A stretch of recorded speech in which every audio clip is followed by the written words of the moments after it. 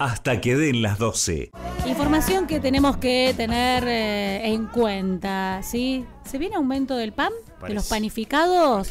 Bueno, hemos eh, dialogado en varias ocasiones, en varias ocasiones, ya con la Cámara de Empresarios Panaderos eh, que bueno, nos viene contando mm, el aumento de los insumos, la competencia desleal. La cantidad de panaderías que han cerrado, lamentablemente. Sí, entre alquileres, entre mm, pagar los impuestos, ¿no? Bueno, le preguntamos a Miguel Ángel Diveta, ¿les parece? Sí, para que nos cuente, él es titular de la entidad que estábamos mencionando y que nos puede dar detalles, información concreta de qué va a pasar. Miguel Ángel, ¿cómo le va? Buen día.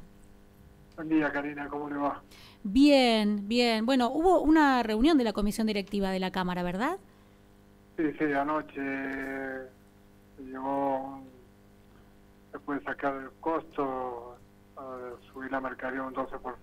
Ah, bien. O sea, se viene el aumento entonces de los panificados. 12% dice. Sí, sí, o sea, trató de hacer lo posible.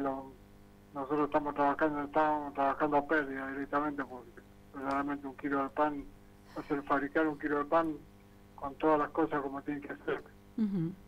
eh, nos salía casi 62 pesos el costo del kilo de pan. Bien. Pues. Costos nuestros, no sé si me entienden. Sí, sí, sí, claro, claro, ¿Y esto a partir de cuándo, Miguel Ángel? Eh, anoche a última hora a partir del día jueves.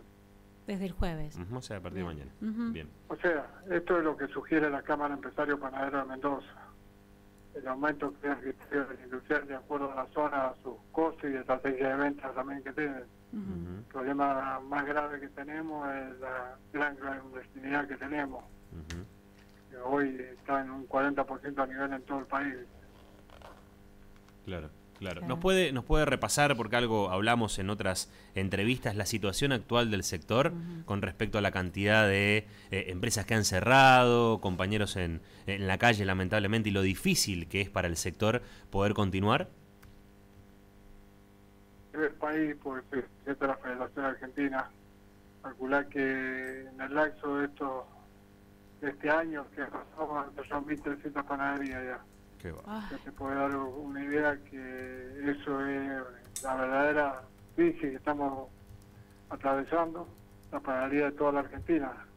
Ya no podemos seguir trabajando con con estas tarifas que estamos teniendo y la dolarización de nuestros insumos básicos que principalmente fue, empezó con la harina en el 2018 y ahora está evolucionando con todos los aumentos materia prima y todo lo, que es la parte de impuestos, que ustedes saben perfectamente que para nosotros el gas y la luz son fundamentales en nuestra, para nuestra elaboración. Claro, claro. Claro, y tampoco han recibido ninguna respuesta por parte del gobierno para dar alguna aval, algún subsidio que permita inclusive este eh, poder este, pagar un impuesto aún menor producto de este, el desempeño que, que practican ustedes a través de la Cámara, ¿no?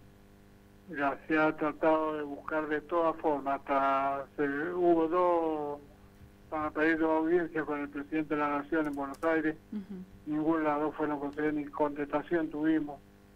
Estuvimos ahora hace cosa de 20 días atrás en la Dirección de Industria y Comercio, nos prometieron muchas cosas, pero hasta ahora no recibimos ninguna contestación de nada. Eso que estoy hablando a nivel Buenos Aires, que es para todo el país, porque directamente nosotros luchamos para todo el país. Claro.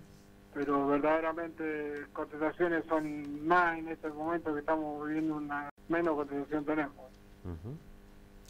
Bueno, este, damos la información entonces a la gente a partir de, del jueves, Miguel Ángel, entonces aproximadamente un 12% el aumento de los panificados aquí en la provincia.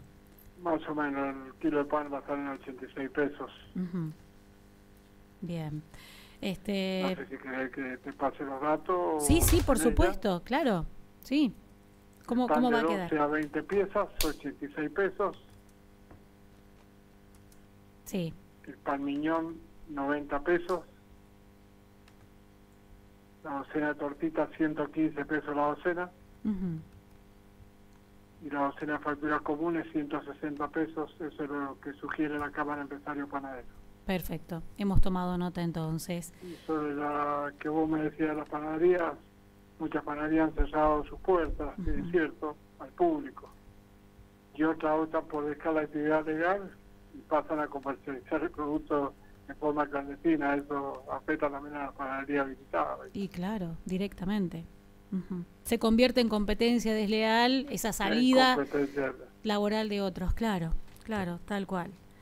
Qué tema. Miguel Ángel, eh, como siempre, estamos más que agradecidos porque usted siempre nos atiende, nos brinda información de las distintas resoluciones de, la Cámara, ¿eh? Muy amable. Estoy para, estoy para lo que necesitan y usted sabe que cuando conmigo lo veo. Igualmente. Muy amable. Hasta luego. Que la pase muy bien. Gracias. Igualmente. Gracias, igualmente. Él es eh, Miguel Ángel Diveta, presidente de la Cámara de Empresarios eh, Panaderos de la provincia de Mendoza. Allí lo escucharon, ¿sí? Aproximadamente entonces un 12% el aumento desde el jueves. Hasta que den las 12.